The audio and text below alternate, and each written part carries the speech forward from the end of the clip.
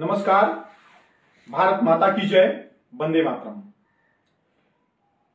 बहुत ही हर्ष के साथ आप लोगों को सूचित किया जा रहा है कि आज मैं आप लोगों के बीच में जो लाइव हूँ लाइव का उद्देश्य है सौर आर्मी के कैलेंडर का विमोचन।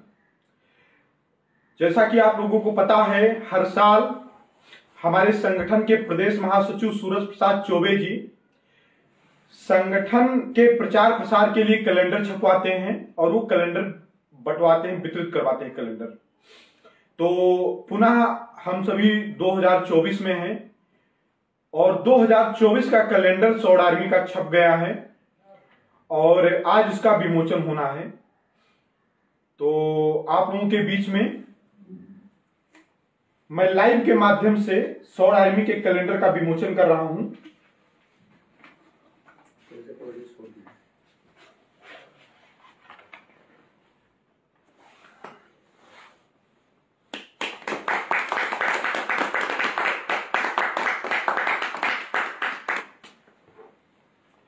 यह है सौर आर्मी का कैलेंडर। सौर आर्मी का कैलेंडर छप गया है, आज इसका विमोचन हुआ है। और जो भी भाई कैलेंडर लेना चाहें, वो हमसे संपर्क कर सकते हैं, कार्यालय पर संपर्क कर सकते हैं।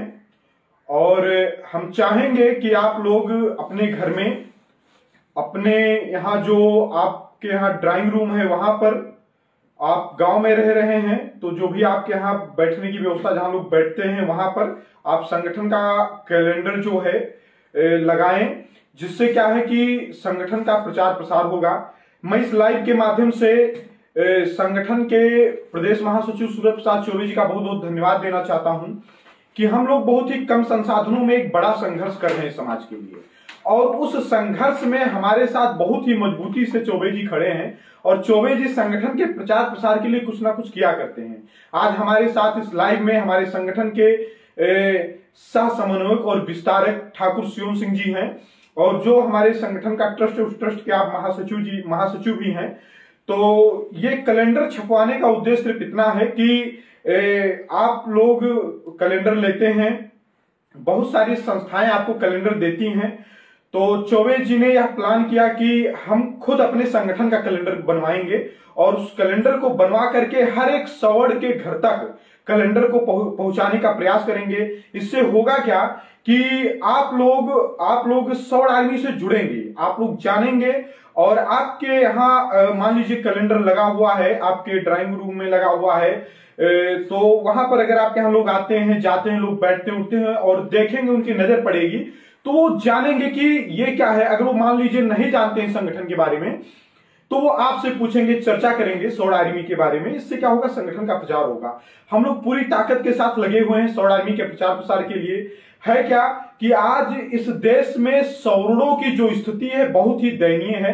आज अगर सबसे ज़्यादा निचले पायदान पर कोई कौम है तो सवर्ण है। सवर्णों को कोई पूछने वाला नहीं है। हम लोग पूरी ताकत के साथ लगे हुए हैं। और मैं धन्यवाद देना चाहता हूँ समाज के हर उस व्यक्ति का जो इस लड़ाई में हमारा साथ दे रहा है, हमारा सहयोग कर रहा है। और मैं धन्यवाद देना चाहता हूँ उन सभी संगठन के कार्यकर्ताओं का जो बिना किसी लाभ के, बिना किसी स्वार्थ के, निस्वार्थ भाव से दिन रात लगे हुए हैं। हमारा जो संघर्ष है, ये पाँच साल, छह साल का संघर्ष है और लगातार तमाम विपरीत परिस्थितियों को फेस करते हुए हम लोग आगे बढ़ रहे हैं संगठन के प्रचार प्रसार में संगठन को आगे बढ़ाने में।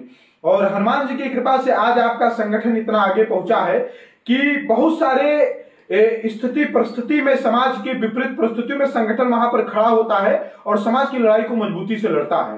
तो आज कैलेंडर का विमोचन था। और मेरा आप लोगों से निवेदन है कि इस वीडियो को शेयर करिए, जिससे कैलेंडर के विमोचन का जो कार्यक्रम है, समाज के अन्य व्यक्तियों तक भी पहुँचे। देखिए, हम आपसे कुछ मांग नहीं रहे हैं। हम आपसे किसी चीज़ के लिए आपके ऊपर दबाव नहीं बना रहे हैं। लेकिन देखिए, अगर आप इस वीडियो को शेयर करते हैं तो इससे होता क्या है कि जैसे मान लीजिए बहुत से लोग मुझे ना फॉलो करते हो, आपको फॉलो करते हैं या आपसे जुड़े हैं तो जब आप अपने टाइमलाइन पर हमारी वीडियो को शेयर करेंगे। तो उससे उनको भी इस संगठन के बारे में संगठन के कैलेंडर का विमोचन हुआ है उसके बारे में संगठन क्या है किस उद्देश्य से संगठन बना है इसके बारे में उनको जानकारी होगी। इसलिए मेरा निवेदन है कि आप इस कैलेंडर का ये जो विमोचन कार्यक्रम है इसका आप इस, इसके प्रचार प्रसार के लिए इस वीडियो को आप ज़्यादा से ज़्यादा शेयर करें। अब हमारे संगठन के महासचिव और सह समन्वय विस्तारक ठाकुर शिवम सिंह जी अपनी बातों को रखेंगे आपके बीच में। नमस्कार। जैसा कि अभी अध्यक्ष जी ने बताया कि आज कैलेंडर का विमोचन हुआ है तो इस वीडियो को भी शेयर करें और दो बातें मैं भी कहना चाहूँगा कि देखिए, ये जो संगठन है, ये कोई मतलब ऐसा नहीं कि हम दबाव बना रहे हैं हमारा इससे कोई फ़ायदा नहीं। इसमें क्या है कि अगर आप इसको मज़बूत करेंगे तो आप भी उतने मज़बूत होंगे। देखिए, मैं शुरुआत से कहता आ रहा हूँ कि संगठन या कोई संगठन नहीं, सवर्ण आर्मी कोई संगठन नहीं है यह आपका सुरक्षा कवच है। आप अगर कर्ण की तरह अजय बने रहना चाहते हैं, आप अगर चाहते हैं कि आपको कोई मार ना पाए, हरा ना पाए तो आप अपने संगठन को मज़बूत करिए, क्योंकि संघे शक्ति कलयुग कलयुग में संघ ही शक्ति है आपकी। आप आप चाहे जितने बड़े बाहुबली होंगे, आपके ऊपर जब दस लोग लग जाएँगे तो आपको मिटा देंगे। इसलिए कहता हूँ कि आप संगठन में मजबूती से लगे, जुड़े और सहयोग करें और संगठन को बढ़ाने का काम करें, जिससे आप बढ़ेंगे। धन्यवाद। और पुनः एक बार कैलेंडर हमारे प्रदेश महासचिव सूरज प्रसाद चौबे जी ने छपवाया, उनको भी धन्यवाद। नमस्कार। जय भवानी, जय श्री परशुराम। अभी मैं धन्यवाद देना चाहता हूँ शिवम जी का। शिवम जी ने बहुत अच्छा कहा। और मैं बात कहना चाहता हूँ आप लोगों से। कि जैसे हमने एक कैलेंडर छपवाया है, एक हज़ार के आसपास कैलेंडर है, ये तो वितरित होगा ही होगा। लेकिन बहुत से ऐसे भाई होंगे, पर साल भी कुछ भाइयों ने इस तरीके से किया था। अभी क्या है कि हमारी गोरखपुर की जो टीम है, गोरखपुर की टीम जो है, उन लोगों ने हमसे पहले कैलेंडर छपवाया और कैलेंडर का घर घर जाकर के वो वितरण कर रहे हैं। बहुत अच्छा काम कर रहे हैं। और मैं गोरखपुर की टीम के जो युवा बच्चे हैं, जो कैलेंडर का वितरण कर रहे हैं, उन्होंने अपने पैसे से, वो सब पढ़ने वाले लड़के हैं, उन्होंने उन्होंने पैसा इकट्ठा किया और अपने पैसे से उन्होंने सौ आदमी का कैलेंडर बनवाया और कैलेंडर का वो वितरण जो है घर घर जाकर के करे, हर एक व्यक्ति को जाकर के वो कैलेंडर दे रहे हैं। इस तरीके से जो भी भाई संगठन का प्रचार करना चाहते हैं और कैलेंडर छपवा करके कैलेंडर का वितरण करना चाहते हैं। उसमें जैसे हम हम संगठन की जो हमारे राष्ट्रीय पदाधिकारी हैं वो तो है ही हैं। साथ में उस कैलेंडर में वो अपनी भी फ़ोटो लगा सकते हैं। अगर इस तरीके से उस संगठन के प्रचार में योगदान देना चाहते हैं तो वो ऐसा कर सकते हैं कि वो अप, कुछ अपने पास से कैलेंडर छपवाएँ जिसमें हमारे हम उनको फॉर्मेट भेज देंगे। और हमारे संगठन के जो राष्ट्रीय पदाधिकारी हैं उनके फ़ोटो तो उसमें रहेंगे ही रहेंगे। उसमें वो अपनी भी फ़ोटो लगवाएँ। और जैसे मान लीजिए अगर आपका कोई पद है संगठन में तो ठीक है अगर कोई पद नहीं है तो आप सिर्फ़ सौड़ आर्मी अपने अपने पद के नीचे अपना नाम और पद पद के स्थान पर सिर्फ़ सौड़ आर्मी लिखिए और आप कैलेंडर का वितरण अपने क्षेत्र में करिए। जिससे क्या होगा कि संगठन का ज़्यादा से ज़्यादा प्रचार प्रसार होगा और ज़्यादा से ज़्यादा लोगों तक ए, हमारी विचारधारा फैलेगी। सबसे बड़ी बात यह है कि जो लोग सौड़ आर्मी को जानते नहीं है वो लोग जानेंगे और जो और इससे होगा क्या एक चर्चा होगी, एक चर्चा का विषय बनेगा। लोग समझेंगे, सुनेंगे विषय जो नहीं जानते वो गूगल पर यूट्यूब पर सर्च करेंगे सौर आर्मी को, फिर वहाँ से सारी चीज़ें वो जान जाएँगे। शिवम जी ने कहा कि अगर आप कर्ण की तरह अजय रहना चाहते हैं तो सौर आर्मी रूपी सुरक्षा कवच को आपको मजबूती देना पड़ेगा, क्योंकि सौर आर्मी एक संगठन नहीं, बल्कि सौड़ों का सुरक्षा कवच है। एक बात मैं आपको और बता दूँ समाज में जिन लोगों के अंदर द्वेष है, ईर्ष्या है, एक दूसरे को गिराने की मानसिकता है, मैं यही निवेदन करूँगा कि ऐसी मानसिकता को छोड़िए। समाज के लिए, लड़ने के लिए अगर कोई युवा आगे बढ़ रहा है तो उस युवा से कदम से कदम मिलाइए।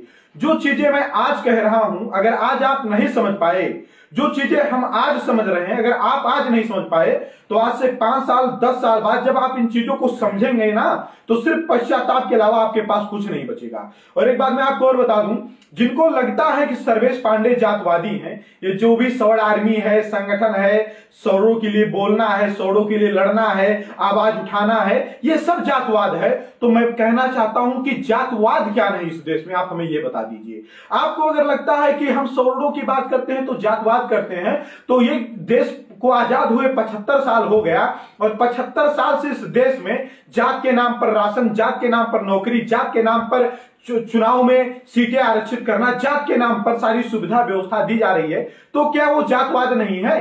क्या सिर्फ़ सर्वेश पांडे जातवाद कर रहे हैं? और एक बात मैं आपको और बता दूँ, मेरा उद्देश्य सवर्ण समाज को संगठित करना इसलिए नहीं है कि हम किसी जाति समाज का शोषण करेंगे, या किसी जाति समुदाय को गाली देंगे, या किसी जाति समुदाय के ऊपर अत्याचार करेंगे। हमारा सवर्णों को संगठित करने का उद्देश्य सिर्फ़ इतना है कि कोई हमारा शोषण ना कर पाए हमारे ऊपर अत्याचार ना कर पाए, कोई हमको गाली ना दे पाए। हम किसी जात के विरोधी नहीं, हम तो सर्वे भवन तो सुखना, सर्वे संत निरामया की भावना से ओतप्रोत लोग हैं। सौर आर्मी का जो हमारा लोगो है, उस लोगो में लिखा है, सर्वे भवन तो सुखना, सर्वे संत निरामया। तो अगर किसी भी जाति समुदाय के लोग ये सोच रहे हैं कि मैं किसी का विरोध कर रहा हूँ तो ऐसा कुछ भी नहीं, हम किसी के विरोधी नहीं है। हाँ हम उनके विरोधी हैं, जो हमारे विरोधी जो हमारा विरोध करेगा, उसे विरोध झेलना पड़ेगा। और समाज के उन बुद्धिजीवियों से मैं एक निवेदन करना चाहता हूँ, जो लोग थोड़ा शर्माते हैं, हम लोगों से थोड़ा मिलने में भी शर्माते हैं, वो सोचते हैं कि सर्वेश पाड़े से मिलेंगे या ठाकुर शिव सिंह जी से मिलेंगे तो हमारे ऊपर एक टैग लग जाएगा, एक ठप्पा लग जाएगा। तो भैया, एक बात बताऊँ, कहाँ तक छिपोगे आप? कहाँ तक भगोगे आप? ठप्पा तो लगा है। मानसिकता तो आपके प्रति है। आप ब्राह्मण हैं, आप ठाकुर हैं, आप बनिया हैं, आप भूमियार हैं तो आपके प्रति लोगों ने पहले से ही धारणाएँ बना रखी है। अब आपको अपने बचने के लिए संगठित होना पड़ेगा। बहुत सारे संगठन है इस देश में, जो खुल करके हमको गालियाँ देते हैं, हमारे समाज को गालियाँ देते हैं। सर्वेश पांडे और सौर आर्मी ने आज तक कभी किसी जाति समुदाय को गाली नहीं दिया है। किसी को कभी टारगेट नहीं किया है।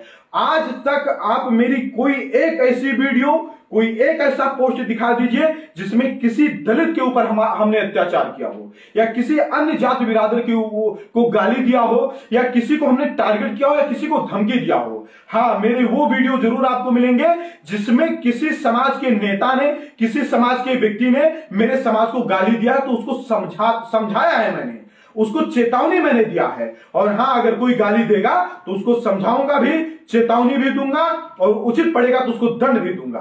तो ये सब चीज़ें जातवाद नहीं है। जातवाद का उद्देश्य है जातवाद जातवाद का मतलब है किसी दूसरे जाति के प्रति हीन भावना रखना अपने मन में। अपने जात की बात करना जातवाद नहीं है। और एक बात आपको बता दूँ, आज सौरणों के सामने कोई विकल्प नहीं है। सौर के सामने सिर्फ़ दो विकल्प है। सौर या तो लड़ेगा या तो सौड़ मरेगा। जिनकी आँखें आज खुल नहीं रही हैं, उनको एक बार 10 मिनट फ़ोन मोबाइल अलग साइड में रख करके सोचना चाहिए कि आज से 50 साल पहले आपके बाप दादाओं की क्या स्थिति थी और आज 50 साल बाद आपके बाप दादाओं की क्या स्थिति है। कितना नुकसान हमारा हुआ है, कितना नीचे हम गए हैं। देश में आरक्षण की व्यवस्था की गई, हमारे बाप दादा अगर सपोर्ट न करते तो क्या अकेले अंबेडकर जी देश में आरक्षण लागू करवा लेते? आप बताइए। अगर हमारे बाप दादा उस समय सदन में उनका सहयोग ना करते, उनका सपोर्ट ना करते तो क्या अकेले अंबेडकर जी देश में आरक्षण लागू करवा लेते? कभी नहीं। हम लोग उदारवादी लोग हैं। हमारे हृदय में करुणा बसती है। हम दूसरों के सुख में ही अपना सुख अनुभव करते हैं। लेकिन ये दुर्भाग्य है कि आज़ादी के 75 साल बाद बिहार में 75 परसेंट रिजर्वेशन कर दिया गया। ये दुर्भाग्य है इस देश का। और ऐसी चीज़ों को खत्म होना चाहिए, ऐसी व्यवस्थाओं को खत्म होना चाहिए। देश हमारा, हम विकसित राष्ट्र की कल्पना करते हैं, हम भारत को विश्व गुरु बनाना चाहते हैं, हम भारत को अमेरिका से इंग्लैंड से और चाइना से आगे लेकर ले जाना चाहते हैं। तो एक बात मेरे भाइयों, बता दूँ ये आरक्षण के बैसाखी के बल पर कभी संभव नहीं हो पाएगा। अगर आप चाहते हैं कि देश विश्व गुरु बने, आप चाहते हैं कि अमेरिका का भी बाप भारत बने तो भारत से जातिगत आरक्षण खत्म करना होगा प्रतिभा और योग्यताओं को सम्मान देना होगा। और एक बात मैं आपको फिर बता दूँ, हमारी लड़ाई जात की नहीं, हमारी लड़ाई योग्यता की है, प्रतिभा की है, न्याय की है, सत्य की है, धर्म की है। और ये लड़ाई हम आखिरी साथ लड़ते रहेंगे। जय हिंद, वंदे मातरम।